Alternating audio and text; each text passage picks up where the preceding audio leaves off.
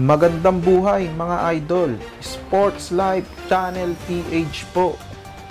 Kahit wala pang kasiguraduhan kung matutuloy ang 45th season ng PBA ngayong taon, muli na namang umuugong ang balitang trade sa dalawang super rookie ng PBA.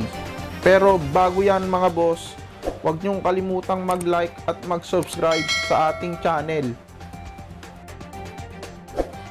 Si CJ Perez ng Columbian Jeep at si Robert Bolick ng Northport Batampier ang mainit sa trade list ngayon mga boss.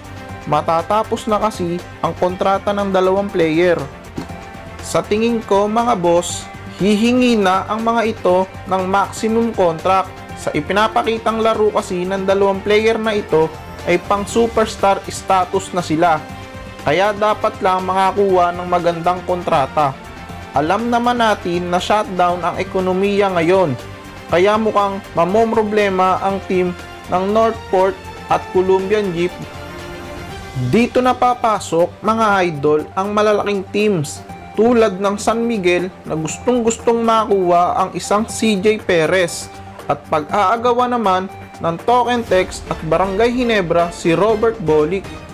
Pero kung magkakasundo naman sa kontrata sa kanilang kasalukuyang team, eh baka wala ng trade na maganap. Kayo mga boss, saan team nyo gustong ma-trade ang dalawang super rookie ng PBA? I-comment nyo na yan. Hanggang sa susunod na Sport News.